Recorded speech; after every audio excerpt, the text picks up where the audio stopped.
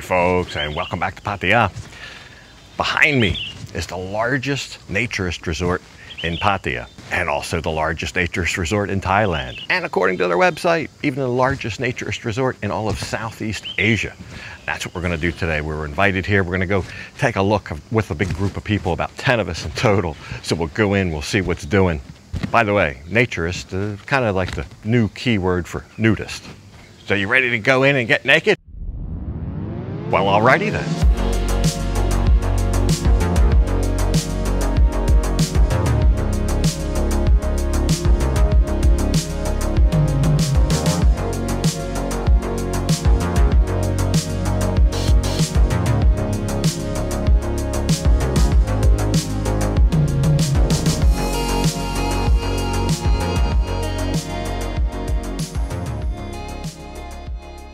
That's right, And it's called the Dragonfly, the Dragonfly Resort.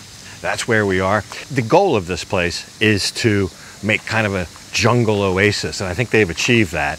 On the way out here, I'll show you what it looks like. You got to go down some kind of little dodgy roads. It, this isn't far off Highway 36 though, so on the edge, the fringe of Pattaya, but you need a big piece of land, so I understand why it's out here. It's about 20, 25 minutes from downtown like I said, you kind of are out here in the middle of nowhere, and then all of a sudden, you do have this big, lovely resort. So what all's here and how much is it? We'll go into all that. But last year I went to a smaller naturist resort right in the heart of Pattaya. And this place is easily 10 times that size. That was essentially just a pool and a little restaurant. But here it's kind of next level. They've got all kind of features. They have a full onsen here. They've got this lake. They've got spa houses, plus hotel rooms. We'll, we'll look at the hotel rooms.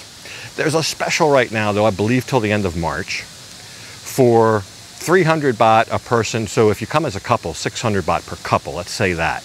Normally it's 600 baht per person, so it's almost like uh, one admission and your partner gets in free.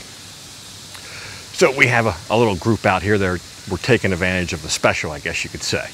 Last year when I came to the, to the other naturist resort, there was a lot of questions, some very good questions, maybe some not so good, but all in jest, I guess. Well, one of the questions was, did you bring sunscreen? yes, I brought sunscreen. I did last year. I did this year. So, so there you go. Uh, one of the other questions is, is, well, is the staff naked? I mean, yes and no. Uh, so, the, some of the staff members have occasion to go out into the area where customers pull up, where they could potentially greet customers, or the maintenance people for the outside of the resort. And those are not; those are fully clothed. But the manager here greeted us, and she was. So um, it just depends what their function is, and if they have more of a dedicated function to the interior of the resort, why then uh, at least the one that I met uh, was nude as well. So hopefully that answers that question. But I guess the, for the most part, they're not. So I also went over this last year, but naturism, the naturist tourism sector, is the fastest growing sector in Thailand. There's supposed to be nine resorts in total in Thailand and this just being one of them. But when you look at all of the other sectors of tourism, there's medical tourism, there's ecotourism, adventure tourism, all kind of small niches. This one, supposedly, the fastest growing niche. So I know it doesn't appeal to everybody, but it definitely appeals to some. And to wit, this place is not full today, but there's actually way too many people here. I can't even show you the, I can't even film, I, I can show you, but I can't film the main pool area because there's just so many people about and I can't invade anybody's privacy. But I, my goal is to try to show you what the resort is without doing that, and I think I think uh, I can do that. But you pay your admission. You come in. You're given a locker, given a couple bottles of water. You're given a towel, a lovely brown towel like what I'm wearing here, and a couple bottles of water. You make your way over to your locker. That's where you can stash all your stuff, your clothes, whatever whatever it is you want to put in there. And if you want to take your phone or personal valuables or whatever, you can take that into the pool area. But all of your all of, all of your other things are secure. And you get a key for that locker, of course, which you take with you. And you come back into the main pool area. Now, basically just a swimming pool there and some lounge chairs, umbrellas to keep you out of the sun. But right off the pool area is one of the new features here, which is the onsen. And I think this is why this is the biggest resort of its kind in Thailand because they keep building onto it. I'll show you another example of that in a minute. But the onsen is relatively new here. We'll go in there. Had to wait till there was nobody in there except our group. Our group was okay. They don't mind. They don't mind. In fact, one person specifically I brought just to just to kind of be in the video so it's not all empty scenes. But the onsen, they have a Japanese style, so you have the very hot pool. You have the very cold pool. The hot pool is 39 and a half degrees Celsius. The cold pool 18. But I'll tell you this, the cold pool feels a lot colder than 18 when you get in it. Uh, you're supposed to stay in there for two minutes to kind of let your body adjust to it. And then the great big pool is like a warm pool. I, am not sure the temperature on that one, but it's warmer than a swimming pool, uh, but not hot like the, like the little hot pool. These now there's saunas as well, right off the pool. And then there's these specialty rooms that are lakeside here. So kind of between the pool and the lake are guest rooms. And then beyond that, right here on the lakeside, you have some like specialty spa rooms. At least one or two of them have like a great big like little jacuzzi thing sitting out there and you can sit in that jacuzzi and overlook. It's right over here behind me as I talk to you. I'm actually stood on what would be a walking track around the whole thing. So you can walk around this path that's very, uh, there's a wall on one side, of course, and then the other side would be the resort, but I'm kind of out here in the hinter regions of the resort here again so I don't impose upon anybody's privacy. But it's a lovely little walk around here around this lake and on the other side of that lake are these spa rooms. One's outfitted like a massage room. I saw a sign in there for 500 baht and you can take a massage while you look out on the lake or maybe you just want to soak in one of the, the uh, whirlpool baths and you can do that under a shaded roof looking out at the lake. Very nice, all very nice. Not sure I've ever seen anything quite like that. Then there's a great big a games room with maybe the biggest pool table, snooker table. I'm probably saying this wrong. It's probably not pool or snooker. I don't know what it is, but it's reminiscent of a pool table. Uh, there's a regular pool table in there that's a blue, but the green one is this huge monster table in there. So I'm not even really positive sure what that is, but a very nice uh, room for that. And then on kind of on the other side of that is a full gym, a full uh, workout with weights, free weights, machines, kind of something maybe reminiscent of a, of a condo or hotel fitness center. So you have that. So now it wouldn't be a resort without guest rooms. They, they just cleaned one of these rooms and let me in there, but very nicely appointed, very nice room with a great big patio. In fact, a room that you'd be pleased with at any hotel. A big, big, soft, comfortable bed, separate washroom, and then the patio area, you could almost have a little soiree out there. Uh, seating for, I don't know, four, five, six people out there. Now, here's the thing with the rooms. I, I believe this room was 2,200 baht. Now, I'm here on a Saturday. So weekends are their busier time, and hence the rooms are more on the weekend. This isn't anything new. A lot of hotels charge more on the weekends, but not a bad price for the room, and that does include breakfast. They have an entire breakfast uh, room. The breakfast is only till 10 o'clock, and then I think from 10 o'clock onwards, it reverts into just a general cafe called the Dragonfly Cafe.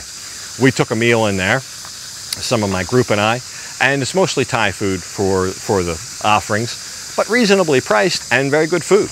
Uh, drink, also uh, alcoholic drinks, there's a full bar, and they can bring you these drinks even poolside if you want. There's a waitress to do that. So you add all that up, it's a very nice experience out here between the food, the bar, the onsen. I mean, you could spend you could spend your whole day just in that onsen. So that's a great addition to this. And I'm not even sure that since they built that, that they raised the price here. So I think if you were ever here a year or so ago before the days of the onsen, it, it may be still the same price with the onsen. So it's like you're getting that thrown in. But the whole experience is, uh, is quite nice if you're into the whole naturist scene. And I, I kind of like being out here, just uh, the experience of the getting in the pools and the water over your whole body without any kind of clothes sticking to you, swimsuits, etc.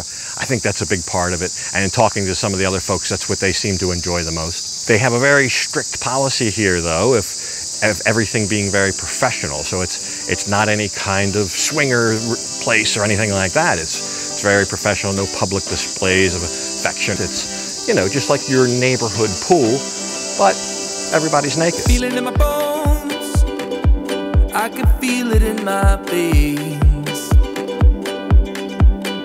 Hands in the sky, I can feel the winds of change.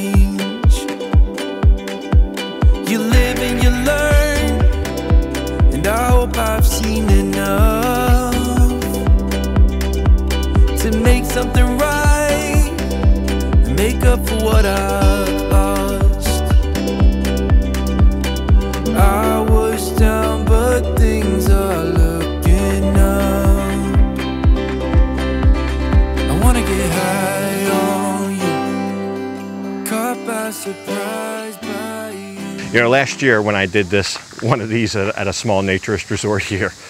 I learned a lot. It was a very difficult video to edit. I learned from that. So the sunglasses where the sunglasses had very dark or mirrored frames. In those frames, there was things going on that maybe you weren't supposed to see. So I learned not to wear those when I'm doing these segments. And then behind me, if there's a glass pane behind me or something, same thing.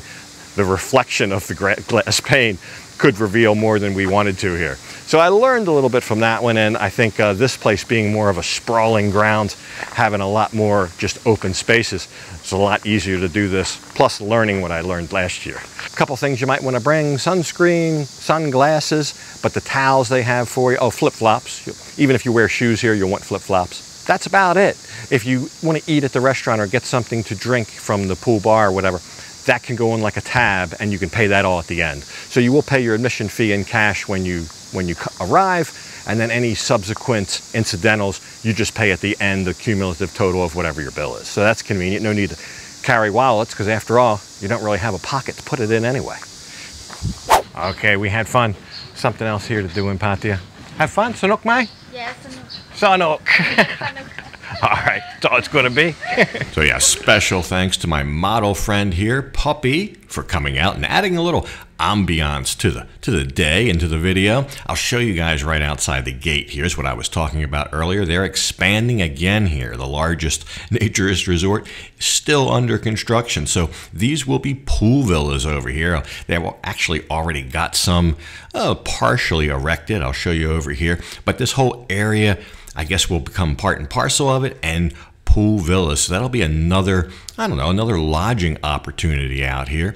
Also, big thanks to the staff, all the all the people at the Dragonfly Naturist Resort for making our day special, and all of my naturist friends I met out there, both new and old. It was a good day and nice to see everybody. Of course, back home today, it's Buddha Day. That's the day that offerings are given.